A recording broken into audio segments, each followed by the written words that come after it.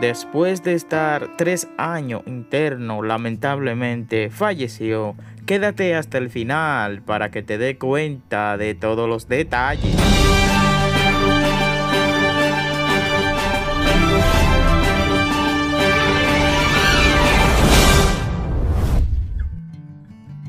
Hola, ¿qué tal? Bienvenidos y bienvenidas una vez más a su canal Mundo TV Show, donde recibe las noticias más importantes del país y el mundo. Si eres nuevo, te invito a que te suscribas y actives la campanita de notificaciones. Así te mantienes al tanto de lo que está pasando en nuestro país y el mundo. El COVID no le perdonó la vida a Jorge David Vallejo Peguero. No valió su lucha. El virus que lo afectó al principio de la pandemia le ganó la batalla. Eso sí, no le fue tan fácil destruir la destreza de una madre como Ana Peguero, que con su fe logró tener por tres años vivo a su amado hijo e inclusive lo vio respirar por sí mismo. Este joven dominicano que residía en los Estados Unidos estuvo interno desde el 28 de marzo de 2020, luego que el coronavirus lo afectara y lo llevara a estar en estado de coma. Su madre nunca aceptó que lo desconectaran y pudo dar testimonio de la promesa de Dios de ver a su hijo respirando si los tuvo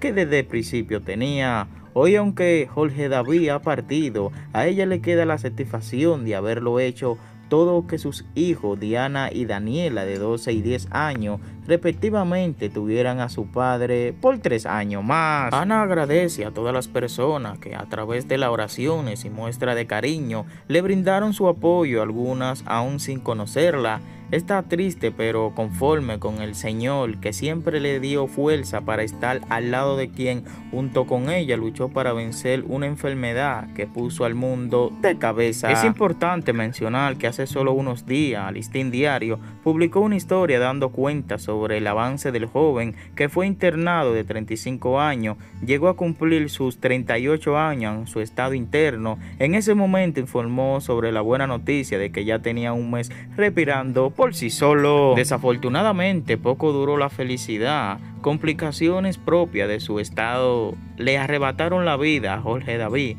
dejando a su madre sumida en el dolor, que significa perder a un hijo, pero firme en esa fe que la mantuvo de pie por tres años. Muy triste y muy lamentable lo que le pasó a Jorge.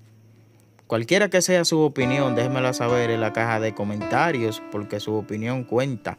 No olviden suscribirse y activar la campanita de notificaciones, así se mantienen al tanto de lo que está pasando en nuestro país y el mundo.